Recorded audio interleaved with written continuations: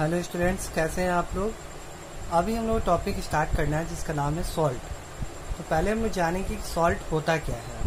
तो देखिए salt is a compound form from an acid by replacing of hydrogen in the acid by the metal यानी salt बनाने का बहुत सारा तरीका होता है। लेकिन जनरली जनरली सॉल्ट कैसे बनता है आपको? तो जनरली सॉल्ट बनता है कि आपका? जब हम किसी एसिड में से हाइड्रोजन जो होता है, उसको रिप्लेस करके मेटल से रिप्लेस कर देते हैं तो वो जो नया प्रोडक्ट बनता है, उसको हम बोलते हैं क्या? सॉल्ट बोलते हैं। जैसे यहाँ पे एग्ज़ाम्पल है, ये आपका हो गया क्या? एसिड हो गया। इस एसिड को हम एन जो होता है, ये आपका क्या हो गया? मेटल हो गया। इस एसिड में जो हाइड्रोजन है, उसको हम हटा करके उसको Na को के साथ में हम कंबाइन कर देंगे और बन जाएगा NaCl और ये ओ OH और H, ये दोनों आपस में कंबाइन होकर के H2O बना देगा। NaCl क्या हो गया आपको? सॉल्ट हो गया। यानी जनरली सॉल्ट बनाने का प्रोसेस क्या होता है? सिंपली बात है, हम लोग क्या करेंगे? किसी भी एसिड को एसिड में से हाइड्रोजन को रिप्लेस करके उसके जगह पे मेटल हम लगा देते हैं। तो वो मेटल और बाकी जो कंपाउंड ये दोनों मिल करके सॉल्ट फॉर्म करता है। और ये देखिए आपको क्या होगा? एन ए मेटल है तो इसके ऊपर पॉजिटिव चार्ज और इसके ऊपर में नेगेटिव चार्ज डेट मीन्स ये जो आपको होता है सॉल्ट ये क्या होता है? आयनिक कंपाउंड बोलते हैं। तो आयनिक कंपाउंड किसे बोलते हैं? आगे आप मेटल नॉन मेटल चैप्टर पढ़िएगा, उसमें हम बताएँगे आयनिक कंपाउंड क्या होता है। सिंपली एक पॉजिटिव आयन और नेगेटिव आयन से मिलकर जो कंपाउंड फॉर्म करता है उसको हम बोलते हैं आयनिक कंपाउंड बोलते हैं। तो जितना भी सॉल्ट है, वो सब आयनिक कंपाउंड होगा, क्योंकि जितना भी सॉल्ट होगा, एक पॉजिटिव आयन और एक नेगेटिव आयन से मिलकर ही बना होगा। ठीक है? तो इस बात को याद रखिए। यानी सिंपली आप सीखिएगा सॉल्ट कैसे फॉर्म करता है? तो आप सबसे कॉमन प्रोसेस है सॉल्ट फॉर्म करने का हम क्या करेंगे? किसी भी एसिड में से हम हाइड्रोजन एटम को रिप्लेस कर एटम मेटल से रिप्लेस कर देंगे तो वहाँ पे सॉल्ट फॉर्म करेगा। ठीक है? ठीक है? अब एक बात को आपको ध्यान रखना है कि सिर्फ़ आप लगता है कि हम लोग यूज़ करते हैं घर में खाने के लिए NaCl ठीक है? सोडियम क्लोराइड NaCl तो क्या ये इसी को सॉल्ट बोलते हैं? नहीं, इसको हम लोग बोलते हैं क्या? कॉमन सॉल्ट बोलते हैं। ठीक है? तो आप ये मत समझिएगा कि सॉल्ट का मतलब होता है NaCl सॉल्ट का मतलब सिर्फ़ NaCl नहीं होता है। ये कोई भी पॉजिटिव आयन और नेगेटिव आयन से मिलकर जो कंपाउंड फॉर्म करता है, वो सब क्या होता है आपका? सॉल्ट होता है। ज़रूरी नहीं है कि NaCl आपको NaCl भी पॉजिटिव आयन और नेगेटिव आयन से मिलकर बना हुआ तो ये भी सॉल्ट है। लेकिन इस सॉल्ट को हम बोलते हैं कॉमन सॉल्ट और बाकी ये सभी क्या है आपको? सॉल्ट है। जैसे कुछ और सॉल्ट देखिए K two SO four N A two SO four ये सब क्या है आपका? सॉल्ट इस सबको भी हम सॉल्ट बोलते हैं। ये पॉजिटिव आयन और ये क्या हो गया? निगेटिव आयन ये पॉजिटिव आयन हो गया और ये क्या हो गया आपका? निगेटिव आयन ये सब क्या हो गया आपको? ये सारी चीज़ क्या है आपको? सॉल्ट कहलाता है। ठीक है? तो आप लोग याद रखिएगा। यानी पॉजिटिव आयन और नेगेटिव आयन से मिलने से जो कंपाउंड फॉर्म करता है, उस आयनिक कंपाउंड को बोलते हैं और वो आयनिक कंपाउंड क्या कहलाता है आपका? सॉल्ट कहलाता है। ठीक है? लेकिन ज़रूरी नहीं कि हर आयनिक कंपाउंड सॉल्ट पर कहलाए। सारा आयनिक कंपाउंड सॉल्ट आपको नहीं कहलाता, इसको बात को भी ध्यान रखिएगा। ठीक है? तो ये बात हो गया। यानी ये कन्फ्यूज़न माइंड से दूर कर लीजिए, सिर्फ़ एन को ही सॉल्ट कहा जाता है। बाकी कोई भी चीज़ जो पॉजिटिव नेगेटिव आयन से बनता है उसको भी हम लोग सॉल्ट ही कहते हैं। हाँ एन को हम लोग बोलते हैं क्या? कॉमन सॉल्ट बोलते हैं। ठीक है? क्योंकि जनरली ये मात्रा हम लोग बहुत ही मात्रा में हमारे चारों तरफ़ पाया जाता है, इसमें इसको कॉमन सॉल्ट कहा जाता है। ठीक है? तो आपको सॉल्ट बेसिकली कैसे डेवलप करता है? सॉल्ट जो होता है बेसिकली आपको डेवलप जो फॉर्म करता है सॉल्ट आपको एसिड और बेस के रिएक्शन के कारण सॉल्ट फॉर्म करता है। यानी एसिड और बेस आपस में रिएक्ट करते हैं तो इस रिएक्शन को हम बोलते हैं क्या? न्यूट्रलाइजेशन रिएक्शन बोलते हैं और इस रिएक्शन में जो नया प्रोडक्ट फॉर्म करता है, उसको बोलते हैं सॉल्ट ठीक है? और साथ में वाटर फॉर्म करता आपको पता है? तो जैसे कि यहाँ देखिए, यहीं पे आपको ये एन क्या है आपको? ये आप एन क्या है आपको? बेस है और ए क्या है आपको? एसिड ये दोनों रिएक्ट किया, ये सॉल्ट फॉर्म किया और वाटर फॉर्म किया, ठीक है? चलिए, अब कुछ बात देखिए। सॉल्ट जो होता है हाइड्रोक्लोरिक एसिड से जो सॉल्ट फॉर्म करता है, उसको बोलते हैं क्या? क्लोराइड्स बोलते हैं। उसके बाद सल्फ्यूरिक एसिड सॉल्ट फॉर्म होता है, उसको बोलते हैं सल्फेट बोलते हैं। नाइट्रिक एसिड से सॉल्ट फॉर्म होता है, उसको नाइट्रेट बोलते हैं। कार्बोनिक एसिड के साथ में सॉल्ट फॉर्म होता है, उसको कार्बोनेट्स बोलते हैं। और एसिटिक एसिड से सॉल्ट फॉर्म होता है एसिटेट बोलते हैं। ठीक है? तो यहाँ देखिए, आपके बुक में पेज नंबर 184 है। पेज नंबर 84 में आपको sodium chloride NaCl calcium chloride CaCl2 ये सब क्या है आपको सॉल्ट का नाम और ये इसका नेम और इसका केमिकल फॉर्मूला यहाँ पे दिया हुआ है। ठीक है? अब सॉल्ट का प्रॉपर्टी क्या होता है? देखिए।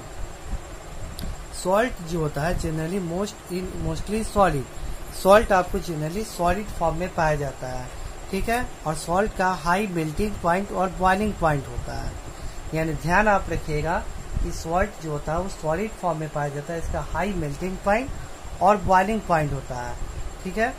और ये जो सॉल्ट होता है यूजुअली सॉलुबल इन वाटर यानी सॉल्ट जो होता है वाटर में सॉलुबल होता है। ठीक है? जस्ट लाइक एसिड और base salt is also conduct electricity साथ में सॉल्ट जो होता है इलेक्ट्रिसिटी कंडक्ट करता है। ठीक है? क्यों इलेक्ट्रिसिटी सॉल्ट कंडक्ट करता है? सॉल्ट आपको बताए हैं पॉजिटिव आयन और निगेटिव आयन के मिलने से पॉजिटिव आयन और निगेटिव आयन के मिलने से सॉल्ट फॉर्म करता है। और जानते हैं इलेक्ट्रिसिटी किसी भी चीज़ से कनेक्ट होने के लिए आपको या तो फ्री इलेक्ट्रॉन वहाँ पे होना चाहिए या फिर वहाँ पे आयन होना चाहिए। ये दो में से कोई भी चीज़ होगा, तब वहाँ पे इलेक्ट्रिसिटी आपको कंडक्ट कर सकता है। तो सॉल्ट से पास में आयन होता है, इसलिए सॉल्ट क्या होता है? गुड कंडक्टर ऑफ़ इलेक्ट्रिसिटी होता है। तो सॉल्ट क्या क्या प्रॉपर्टी लोग पढ़े? सॉल्ट सॉलिड होता है आपका पहला प्रॉपर्टी नंबर टू सॉल्ट के पास में high melting point boiling point होता है. सॉल्ट जो होता है, वो वाटर में सॉल्युबल होता है. ठीक है जस्ट और सॉल्ट जो होता है एसिड और बेस की तरह ही गुड कंडक्टर ऑफ़ इलेक्ट्रिसिटी होता है. ठीक है, और ऑलरेडी बता ही चुके सॉल्ट क्या होता है आपका? आयनिक कंपाउंड्स होता है, क्योंकि सॉल्ट आपको पॉजिटिव आयन और निगेटिव आयन के मिलने से बनता है. अब देखिए नेक्स्ट है टॉपिक यहाँ पे फैमिली ऑफ़ सॉल्ट ध्यान से देखिए बुक में कम समय लगेगा, इसलिए बुक से ही आपको समझा रहे हैं। देखिए फैमिली ऑफ़ सॉल्ट का मतलब क्या होता है? देखिए ध्यान से। आपको is the salt having same positive ion या फिर same negative ion are said to be belonging the to a family of salt ठीक है ना? यानी एक सॉल्ट का फैमिली किसे बोलेंगे? ठीक है ना? आपको दो सॉल्ट दे दिया जाएगा और हम आपसे पूछेंगे कि बताइए, ये दोनों सेम फैमिली के सॉल्ट हैं या फिर नहीं है? ये आपको डिसाइड करना है, ठीक है ना? तो अगर किसी दो सॉल्ट का या तो पॉजिटिव आयन या फिर निगेटिव आयन सेम होगा तो उसको हम बोलेंगे सेम फैमिली का सॉल्ट है। तो ध्यान से पढ़ लिए, फिर से पढ़िए। The salt having the same positive ion वैसा सॉल्ट इसका या तो सेम पॉजिटिव आयन हो या फिर सेम निगेटिव आयन हो, उसको हम बोलते हैं क्या? Belonging to the family of salt तो सेम फैमिली ऑफ़ सॉल्ट से बिलोंग करता है। जैसे देखिए फैमिली ऑफ़ सॉल्ट में क्या क्या आएगा? जैसे देखिए एग्ज़ाम्पल आप।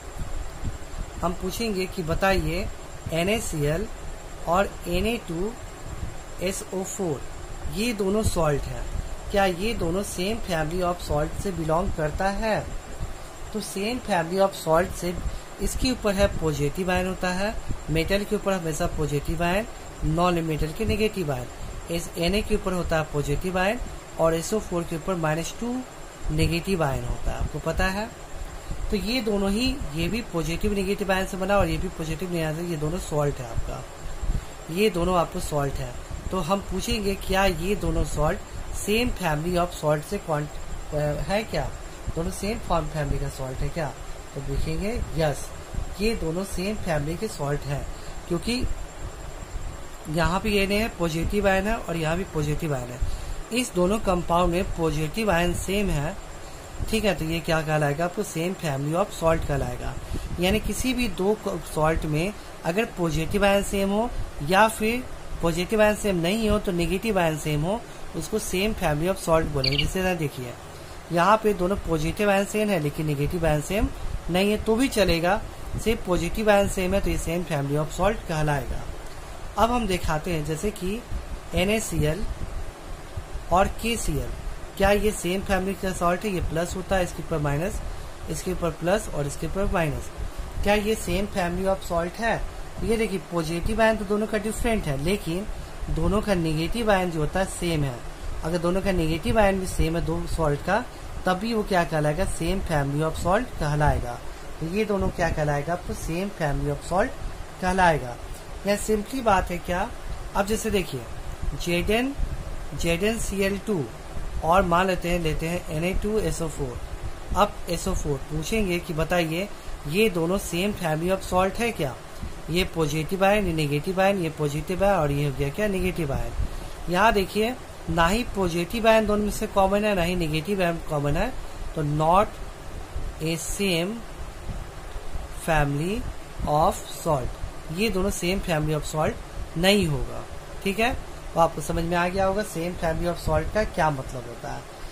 यानी किसी दो सॉल्ट में अगर पॉजिटिव आयन सेन हो, या फिर नेगेटिव आयन सेन हो, इस केस में वो सेम फैमिली ऑफ़ सॉल्ट कहलाएगा अदरवाइज़ वो नहीं कहलाएगा, ठीक है? अब उसके बाद देखिए, आप ये चीज़ बहुत ध्यान रखिए, बहुत ज़रूरी है, आपके एग्ज़ाम में हमेशा पूछा जाता है। इस शान का पेज नंबर देखिए आप, पेज नंबर 84 में 84 में यहाँ पे सॉल्ट दिया हुआ है। ध्यान से देखिए, यहाँ पे सॉल्ट दिया हुआ है।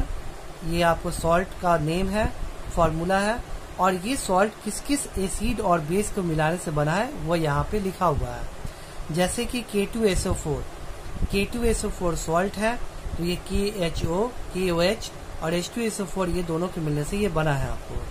ठीक है? उसी तरह sodium sulphate N A two S O four ये सॉल्ट जो है एन ए ओ एच और H two S O four इस दोनों से मिलने से बना है आपको। ये बेस और ये एसिड इस तरह से आपको दिया हुआ तो आपके एग्ज़ाम में कैसे पूछता है? आपके एग्ज़ाम में पूछा जाता है, जैसे दे देगा आपको के टू एस ओ फोर आपको दे देगा के टू एस ओ फोर किस किस एसिड और ये सॉल्ट किस एसिड और या किस बेस से मिलकर बना है? यहाँ पर ऐसे दे देगा क्यू दे देगा और यहाँ पे डैश दे देगा। डैश मतलब कि ये क्यू क्या हो गया आपका? बेस ये बेस अब बताइए कि यहाँ पे कौन सा एसिड आएगा कि दोनों के मिलने के कारण ये सॉल्ट फॉर्म क्या ये एग्ज़ाम में पूछा जाता है। ठीक है? आपको ये चीज़ एकदम याद करके जाना है एग्ज़ाम के लिए कि कौन सा दो एसिड मिलाने से कौन सा सॉल्ट फॉर्म करता है। ये टेबल आपको पक्का याद कर लेना। है जैसे क्यू एच है और एच टी सुपर इसको मिलने से ये बनेगा, इस जोने के मिलने से ये बनेगा, इस जोने के मिलने से ये बनेगा, यहाँ पे इस जोने के मिलने से ये बनेगा। इस तरीके से आपको एकदम इसको चीज़ को याद कर लेना है। ठीक है? ठीक है तो ये नेक्स्ट क्लास में आप लोग को याद हो जाना चाहिए चीज़। ठीक है? अब हम बात करते हैं पीएच ऑफ़ सॉल्ट ठीक है? पीएच ऑफ़ सॉल्ट क्या होता है? देखिए पीएच ऑफ़ सॉल्ट यानी अब इसका सॉल्ट का पीएच वैल्यू क्या होता है? पीएच के बारे में ऑलरेडी हम पिछले क्लास में पढ़े थे। तो देखिए सॉल्ट का जो पीएच होता है, वो आपको एक्वस सॉल्यूशन ऑफ़ सॉल्ट में भी सॉल्ट न्यूट्रल यानी सॉल्ट आपका न्यूट्रल भी होता है, यानी उसका पीएच वैल्यू सेवन होता है। कुछ सॉल्ट ऐसा होता है एसिडिक होता है, कुछ सॉल्ट बेसिक होता है। यानी सॉल्ट का जो पीएच वैल्यू होता है सेवन भी हो सकता है बिलो सेवन होता है और एबव सेवन होता है। यानी कहने का मतलब है क्या? कि कोई भी सॉल्ट सॉल्ट आपका तीन तरह का होता है। एक होता है क्या एसिडिक सॉल्ट बेसिक सॉल्ट और न्यूट्रल सॉल्ट जो न्यूट्रल सॉल्ट होगा, उसके लिए पीएच के वैल्यू सेवन होगा। जो एसिडिक सॉल्ट होगा, उसका पीएच के वैल्यू लेस देन सेवन होगा। जो बेसिक सॉल्ट होगा, उसके लिए पीएच के वैल्यू मोर देन सेवन होगा। तो सॉल्ट आपको दो टाइप का, तीन टाइप का होता है। एक होता है एसिडिक सॉल्ट दूसरा बेसिक सॉल्ट और तीसरा होता है न्यूट्रल सॉल्ट तो आखिर हम जानेंगे कि आखिर ये सब सॉल्ट कैसे फॉर्म करता है। ठीक है? तो देखिए यहाँ पे। जैसे कि आप यहाँ बता रहे हैं क्या? सोडियम क्लोराइड यानी NaCl इसका जो हम नमक खाते हैं घर में, उसका पीएच वैल्यू होता है सेवन और वो होता है क्या न्यूट्रल अब अमोनियम क्लोराइड ठीक है? अमोनियम क्लोराइड इसका पीएच का वैल्यू सिक्स नापा गया। ये तीनों सॉल्ट ही है। अमोनियम क्लोराइड सिक्स नापा गया एसिडिक होता है। सोडियम कार्बोनेट इसका पीएच की वैल्यू नाइन होता है, ये बेस होता है। यानी सॉल्ट आपको जो होता है, ये तीनों की तीनों सॉल्ट है।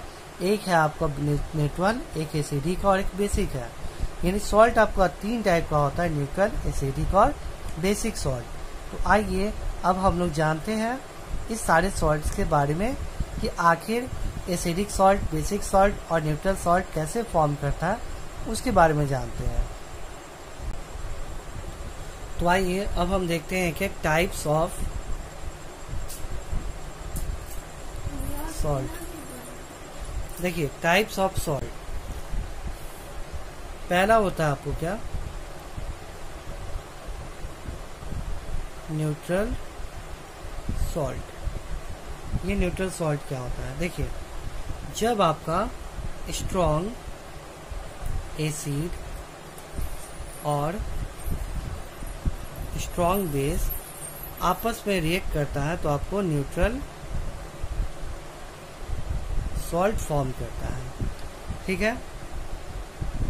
तो यहाँ पे अगर आपका स्ट्रॉन्ग एसिड और स्ट्रॉन्ग बेस आपस में रिएक्ट करता है तो न्यूट्रल सॉल्ट फॉर्म करता है, क्योंकि जितना इसके पास स्ट्रॉन्ग इसके जितना एच प्लस होगा और बेस का जितना ओ एच माइनस आयन होगा, दोनों एक दूसरे के साथ कंबाइन होकर के वाटर का फॉर्म में कन्वर्ट कर देगा।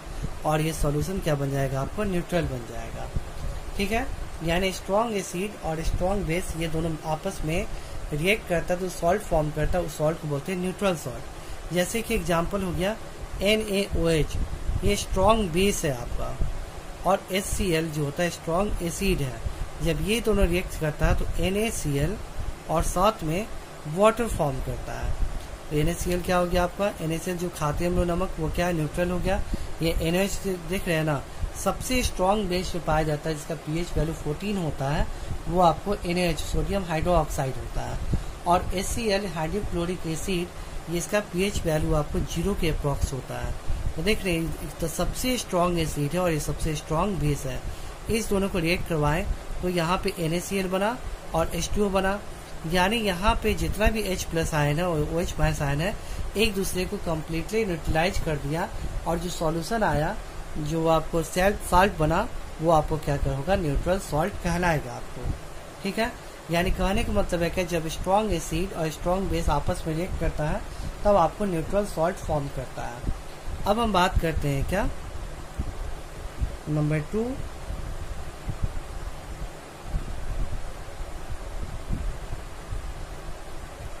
एसिडिक सॉल्ट तो सिंपली बात आपको समझ में आ ही गया होगा एसिडिक सॉल्ट कब फॉर्म करेगा? जब स्ट्रॉन्ग एसिड हो और वीक बेस हो, तब आपका एसिडिक सॉल्ट फॉर्म करेगा। सिंपली बात है, जब स्ट्रॉन्ग एसिड हो और वीक बेस हो तो उस समय जो सॉल्ट फॉर्म करेगा, वो क्या होगा आपका? एसिडिक सॉल्ट होगा। क्योंकि स्ट्रॉन्ग एसिड को ये वीक बेस जो होता है कम्प्लीटली न्यूट्रलाइज नहीं कर पाएगा। इसीलिए ये जो सॉल्ट फॉर्म करेगा, वो क्या होगा आपका? एसिडिक सॉल्ट कहलाएगा। जैसे इसका एग्ज़ाम्पल देखिए आप। N H four O H N H O H ammonium hydroxide N H four को बोलते हैं क्या?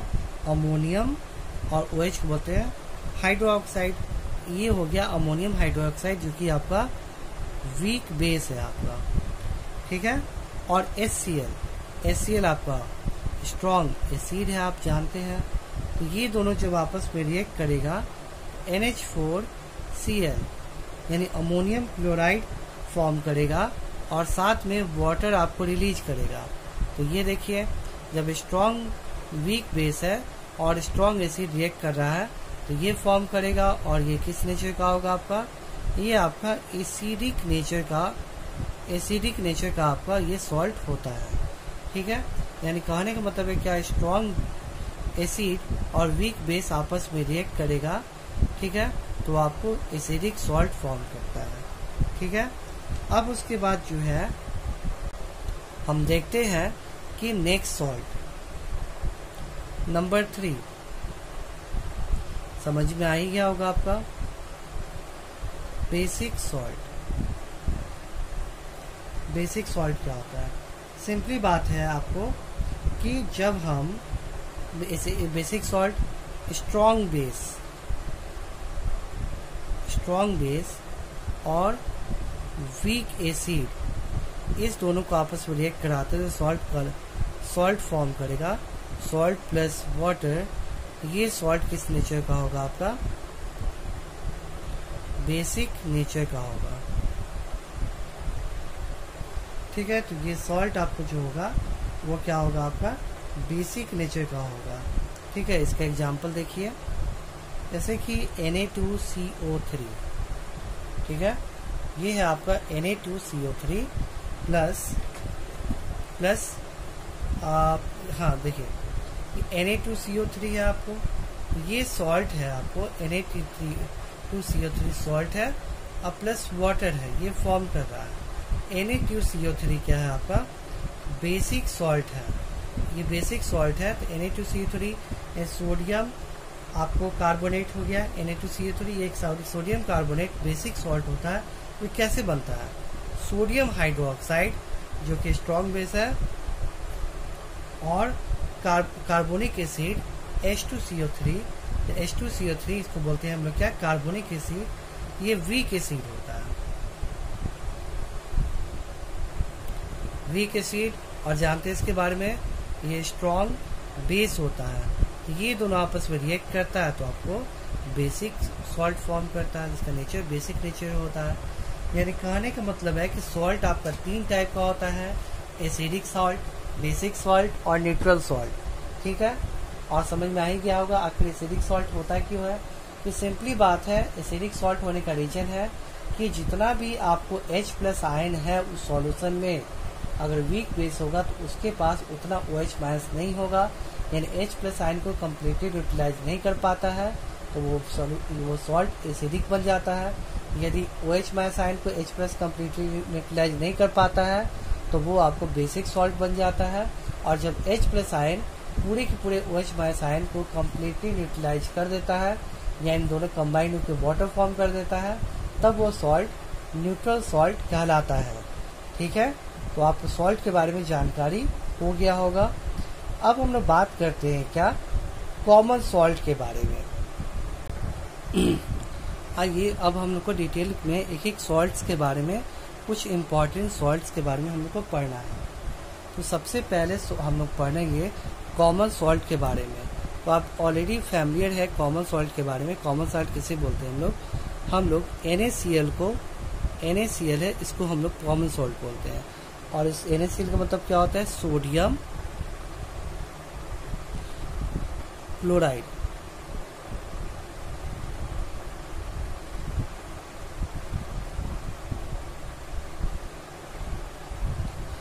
ठीक है? एन को हम बोलते हैं कॉमन नेम जो कॉमन सॉल्ट का केमिकल फॉर्मूला होता है एन और इसका ये केमिकल नेम होता है क्या? सोडियम क्लोराइड इसके बारे में ऑलरेडी हम लोग फैमिलियर हैं, ठीक है?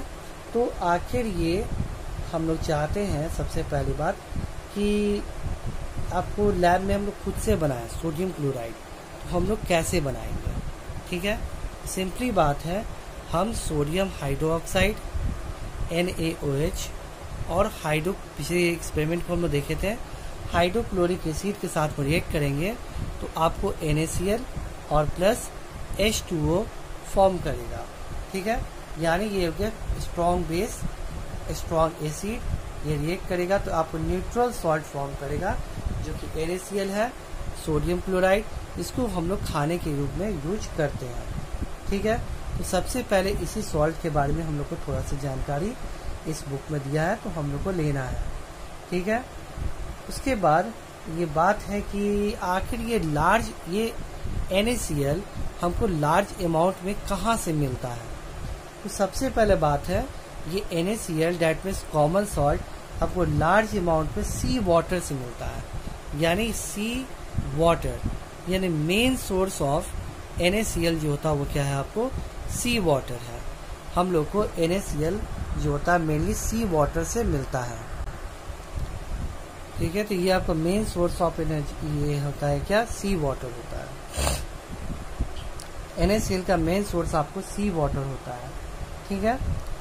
तो हम लोग कैसे इसको लेते हैं? हम लोग क्या करते हैं कि सी वाटर को एक जगह कलेक्ट करते हैं। ठीक है? कलेक्ट करने के बाद उसको छोड़ देते हैं हम। वाटर को इवॉपरेट होने के लिए। वाटर ई इवॉपरेट होता है और लास्ट में इस जगह पे जो पूरा वाटर उड़ जाता है तो व्हाइट कलर का पाउडर मिलता है, वो क्या होता है आपका? एन उसमें कुछ इम्प्योरिटी मिला रहता है तो बाद में उसको फैक्ट्री में ले आकर के उसे इम्प्योरिटी को बाहर करते हैं और प्योर एन हमको मिलता है और उस एन को हम लोग अपने डेली लाइफ डेली एक्टिविटी में यूज़ करते हैं, खाना बनाने में और बाकी एक्टिविटी में इसका यूज़ किया जाता है। ठीक है? अब हमारे बॉडी में एन का क्या यूज़ है? तो देखिए, हमारे बॉडी में सिग्नल का ट्रांसफ़र एक पार्ट से दूसरे पार्ट में होता है। तो अगर हम लोग नमक जो होता है, उसमें आपको मेन इंपॉर्टेंट रोल निभाता है। ठीक है ना? हमारा जो कम्युनिकेशन सिस्टम हमारे बॉडी का होता है, उसको सॉल्ट के द्वारा वो जो होता है कैरी आउट किया जाता है। ठीक है? और जो हम लोग सॉल्ट खाते हैं, उससे क्या होता है आपको? हाइड्रोक्लोरिक एसिड फॉर्म करता है हमारे स्टोमिक और खाना का डाइजेशन जो होता हो पाता है, साथ में बैक्टीरिया को किल कर पाते हैं। यानी हम अब खाने के रूप में एन लेते हैं तो हमारे लिए बहुत ज़्यादा एसेंशियल है और भी बहुत जगह एन का यूज़ हमारे डेली एक्टिविटी में किया जाता है। ठीक है? तो यहाँ पे आपकी बुक में देखिए, यहाँ लिखा हुआ है common use use of common salt ठीक है? तो यहाँ पे क्या है? Common salt use for raw material for making the large number use for chemical industry यानी कॉमन सॉल्ट की हेल्प से हम लोग क्या क्या बना सकते हैं इंडस्ट्री में? सोडियम हाइड्रोक्साइड यानी कास्टिक सोडा जिसके बारे में हम लोग को अभी पढ़ना है। Sodium carbonate that means washing soda इसके बारे में हम लोग को पढ़ना है। सोडियम हाइड्रोजन कार्बोनेट यानी बेकिंग सोडा हाइड्रोक्लोरिक एसिड जो कि हमारे स्टोमक बनता है।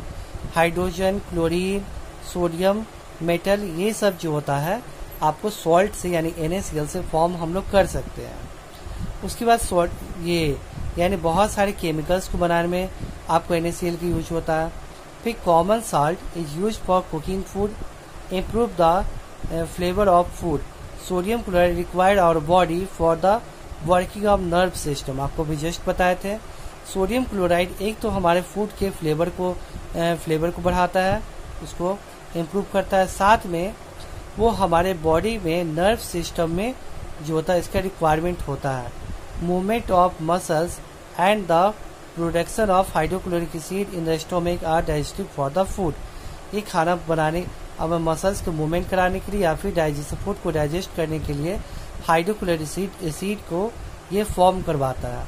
फिर common salt is use as a preserver of pickles यानी देखिए अचार उचार हम लोग बनाते हैं, उसमें नमक डाल देते हैं तो जल्दी खराब नहीं होता। है तो प्रिजर्वर के रूप में इसका यूज़ किया जाता है।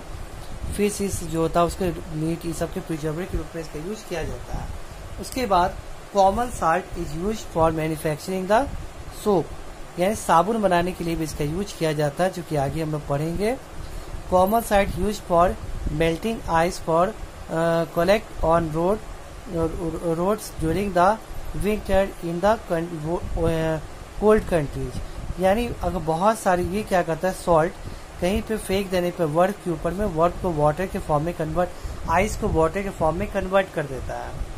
इससे फ़ायदा क्या होगा कि जहाँ भी आपको रोड पे पानी वानी लगता है, वहाँ पे हम पानी ये ये आइस जमा हुआ रहता है कोल्ड कंट्रीज़ में, वहाँ पे नमक फेंकने पे उस एरिया का वाटर में आइस कन्वर्ट हो जाता है और बर्फ़ हट जाता है। ठीक है तो ये इसका यूज़ हो गया। तो हम लोग एन के बारे में जान गए और उसके बाद अब हम लोग जानेंगे कि कॉमन सॉल्ट के बाद सोडियम हाइड्रोक्साइड इसके बारे में अब हम लोग समझते हैं क्या होता है। आइए, अब हम लोग देखते हैं क्या? सोडियम हाइड्रोक्साइड सोडियम पहला सॉल्ट जिसके बारे में हम पढ़ रहे हैं इम्पोर्टेंट सॉल्ट इसका नाम है सोडियम हाइड्रोक्साइड तो आपको हम जैसे लिखे हैं, वैसे ही आपको याद करना है। ठीक है? सोडियम हाइड्रोक्साइड तो पहले हमको याद करना है क्या इसका केमिकल नेम केमिकल नेम इसका होता है क्या? सोडियम हाइड्रोक्साइड फॉर्मूला फॉर्मूला होता है एन और कॉमन नेम किस नेम से जाना जाता है? इसको कास्टिक सोडा के नाम से हम जानते हैं। ये तीनों आपको एकदम याद रहना चाहिए। यानी सोडियम हाइड्रोक्साइड का केमिकल फार्मूला होता है एन और इसको हम लोग बोलते हैं कास्टिक सोडा बोलते हैं। ठीक है? कास्टिक सोडा बोलते हैं। तो सबसे पहले इसको जानने के पहले हमको जानना पड़ेगा कि ब्राइन सॉल्यूशन किसे बोलते हैं। तो सिंपली बात है, अगर हम वाटर एक बीकर लेते हैं, इसमें वाटर लेते हैं, और इसमें फिर इसमें वाटर ले लिए, और इसमें हम सॉल्ट जो होता है ऐड करके मिक्स बनाते हैं। तब ये जो सॉल्यूशन बनेगा, ये मिक्सचर बनेगा, इस मिक्सचर को हम बोलते हैं क्या? ब्राइन सॉल्यूशन बोलते हैं। ब्राइन सॉल्यूशन बोलते हैं। ठीक है? याद रखिएगा आप लोग वाटर और सॉल्ट के सॉल्यूशन को हम बोलते हैं क्या? ब्राइन सॉल्यूशन बोलते हैं, ठीक है? फिर से याद कीजिए वाटर और सॉल्ट के सॉल्यूशन को हम बोलते हैं क्या? ब्राइन सॉल्यूशन बोलते हैं, ठीक है? तो अब देखिए कैसे बनता है आखिर सोडियम हाइड्रोक्साइड सोडियम हाइड्रोक्साइड कैसे बनता है? सिंपली बात है कि जब हम ब्राइन सॉल्यूशन से इलेक्ट्रिसिटी पास कराते हैं तो सोडियम हाइड्रोक्साइड फॉर्म करता है। ठीक है? यानी आपसे पूछेगा कोई भी how can we obtain brine how can we obtain caustic soda या फिर सोडियम हाइड्रोक्साइड? तो आपका जवाब होगा, when we pass electricity from brine solution, then we get sodium hydroxide that means caustic soda यानी अगर हम नमक और पानी के मिक्सचर में से इलेक्ट्रिसिटी पास कराएँगे। तो ये जो वाटर नमक और पानी का मिक्सचर है आपको डेट मीन्स ब्राइन सॉल्यूशन है, ये आपको सोडियम हाइड्रोक्साइड के फॉर्म में कन्वर्ट हो जाता है। आइए देखते हैं इसका रिएक्शन जैसे कि इसका रिएक्शन आपको बस ये रिएक्शन याद रखना है भूलना नहीं है। ये सोडियम हाइड्रोक्साइड है, इसको हम मिक्स किए वाटर में। तब ये दोनों बन गया क्या आपका ब्राइन सॉल्यूशन इस सॉल्यूशन को से हम इलेक्ट्रिक करंट पास कराए इलेक्ट्रिक करंट पास कराए तो क्या होगा? जैसे ही हम इलेक्ट्रिक करंट पास कराएँगे तो ये NH ये Cl2 और ये H2 इस फॉर्म में ये कन्वर्ट हो जाएगा। तो देख रहे हैं हम, ये दोनों क्या है आपका? ब्राइन सॉल्यूशन है। इससे हम इलेक्ट्रिक करंट पास कराएँ तो आपको sodium hydroxide that mean caustic soda form कर गया। इसके साथ ही क्लोरीन गैस और हाइड्रोजन गैस ये दोनों गैस भी आपको फॉर्म करता है, ठीक है? इस बात को आप समझिएगा, ठीक है? यानी ये दोनों गैस भी फॉर्म करता है आपको, ठीक है? अब उसके बाद देखिए, इस प्रोसेस को हम लोग क्या बोलते हैं? देखिए the process of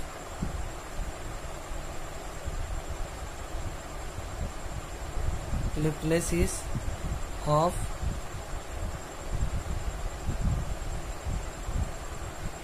sodium chloride solution is called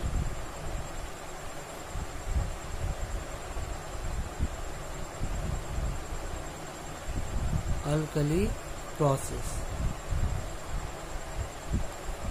Chloro alkali process यानी ये जो प्रोसेस हम करके आपको बना रहे हैं सोडियम हाइड्रोक्साइड इस प्रोसेस को बोलते हैं क्या?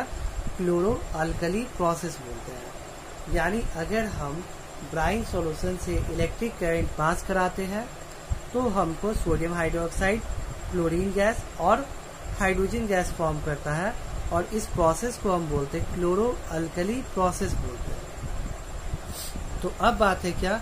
कि आखिर इस प्रोसेस को क्लोरो अल्कली प्रोसेस क्यों बोलते हैं?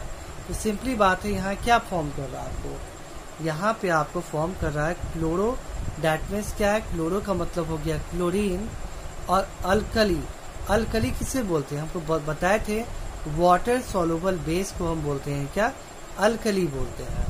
ठीक है? वाटर सोलुबल बेस को हम बोलते हैं क्या? अल्कली तो यहाँ पे बेस के रूप में क्या बन रहा है आपको? यहाँ पे एन बन रहा ना आपको बेस के रूप में अल्कली तो क्लोरो अल्कली प्रोसेस इसको इसलिए बोलते हैं क्योंकि यहाँ पे क्लोरीन गैस फॉर्म करता है और अल्कली यानी वाटर सोलुबल बेस के रूप में एन फॉर्म करता है। इसीलिए इस प्रोसेस को हम बोलते हैं क्या? क्लोरो अल्कली प्रोसेस बोलते हैं। ठीक है?